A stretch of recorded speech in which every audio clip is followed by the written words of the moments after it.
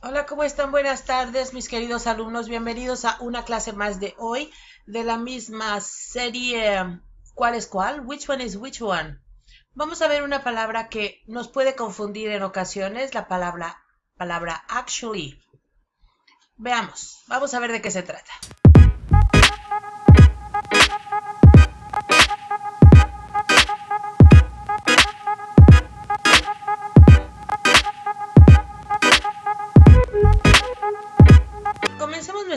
Pero primero le voy a platicar el cómo surge esta lección, que de hecho, bueno, todas estas son partes de las lecciones que yo doy en mis clases online o persona a persona. Eh, y esto siempre ha estado incluido, bueno, ha estado incluida en mis clases desde hace bastante, por un hecho que efectivamente pasó.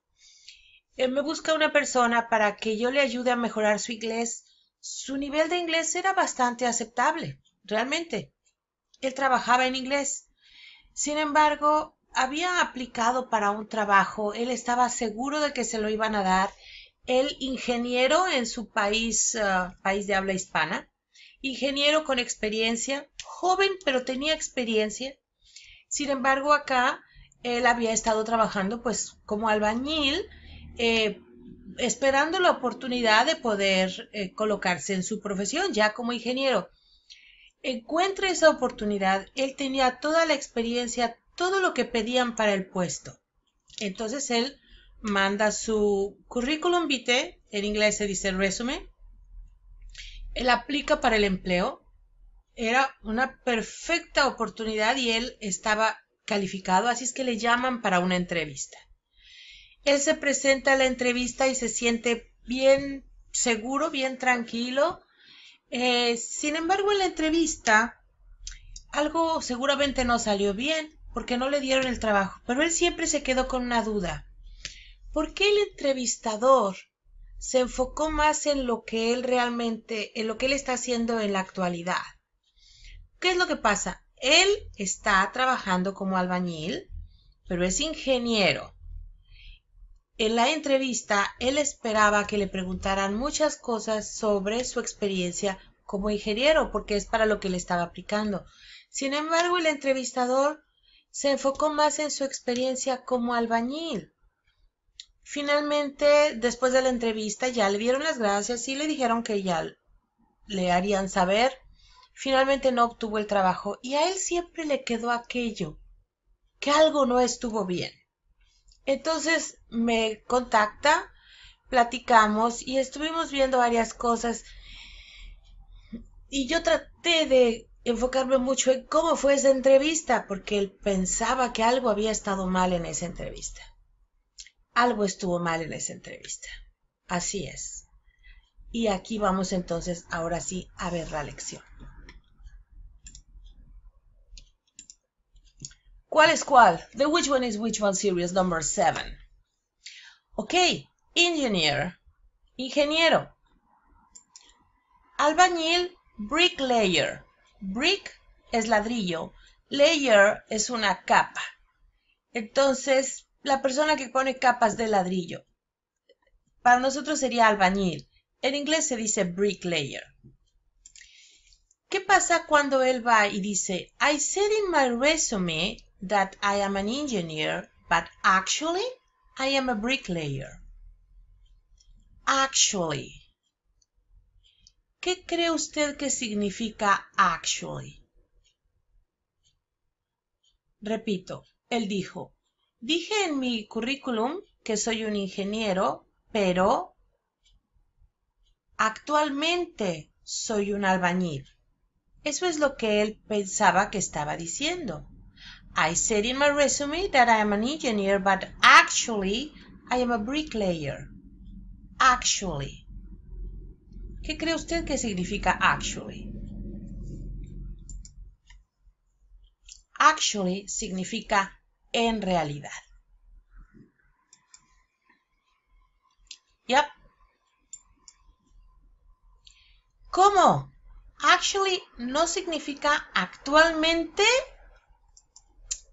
no. No. Significa en realidad. De tal forma que lo que él dijo fue,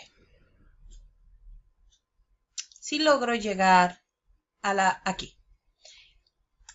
El, lo que en realidad le dijo al entrevistador fue, dije en mi currículum que soy un ingeniero, pero en realidad soy un albañil. Por eso fue entonces que el entrevistador le empezó a preguntar qué es lo que él hacía en su trabajo como albañil, qué experiencia tenía, qué sé yo. Evidentemente, en el fondo, el entrevistador debe haber dicho, ¿por qué esta persona está diciendo que es ingeniero? Si en realidad es albañil. Creo yo que el entrevistador debió haber sido un poquito más sagaz y haber abundado en esto sobre todo cuando se trata de una persona que tiene no mucho tiempo acá. Debió haber pensado que probablemente no se estaba expresando bien. ¿Por qué la persona no fue más allá? No lo podemos saber. ¿Fue por ignorancia de él mismo o simplemente no quiso hacerlo? El caso es que sí hubo algo mal en esa entrevista. Él allí dijo, mentí en mi currículum. Dije que soy un ingeniero, pero en realidad soy un albañil. Hay muchas palabras que en inglés y en español se parecen, lo sabemos, y son muchísimas. Y eso puede hacer que nos confundamos y nos confiemos. Esta palabra se parece mucho. Seguramente quiere decir lo mismo. No. En este caso, actually significa en realidad. ¿Qué debemos entonces nosotros? Bueno, sobre todo en una situación así delicada, prepararnos, estudiar bien lo que vamos a decir. Para él es ser un punto medular. Decir, soy ingeniero, en la actualidad estoy trabajando como albañil, pero tengo esta y esta experiencia. Él debió haber estudiado un poquito más su speech. Sin embargo, su inglés no es malo y por lo mismo se confió. Eh, hay que evitar eso porque pues se pueden perder cosas importantes. Entonces, si queremos decir actualmente, podemos decir presently, currently, right now, at this moment. Actualmente, en la actualidad, lo podemos decir como presently, currently, right now, at this moment. Hay opciones, no nos confundamos, no nos confiemos. Y yo me confío aquí. I'm an engineer, but right now I am working as a bricklayer. Esa sería la expresión correcta. I am an engineer, but right now I am working as a bricklayer. Si él hubiera dicho I am working, tal vez eso lo hubiera salvado. Parece ser que no lo dijo. No hay evidencia, pero él, hasta donde recordaba, simplemente dijo, Actually, I am a bricklayer. Hay que expresarnos de la mejor forma posible y cuando estamos en entrevistas, no importa que hablemos despacito, pero que digamos lo que queremos decir y hay que practicar antes. I am an engineer, but right now I am working as a bricklayer. Eso probablemente le hubiera él abierto las puertas de aquel empleo para el cual además estaba muy calificado. Entonces, bueno, es una historia un tanto triste. A esta caso, en este momento él, so right now, he had a better job. Cuando la gente se sigue esforzando y sigue y sigue, obviamente las cosas llegan.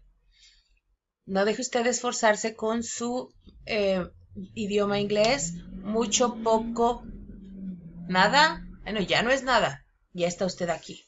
Y ya le he dicho, no importa que usted sea ama de casa. No importa que usted crea que nunca lo va a necesitar. Usted nunca sabe. Usted nunca sabe. Y hablar inglés es muchas veces una profesión. Así es que no lo echen saco roto aproveche lo que tiene y si en este momento tiene esta oportunidad, úsela y póngase a estudiar esas palabras que le estoy dando como opciones para decir actualmente, y apréndase muy bien. Actually significa en realidad. Gracias por estar aquí conmigo. Nos vemos en la próxima lección, que va a ser en dos minutos. Hasta luego.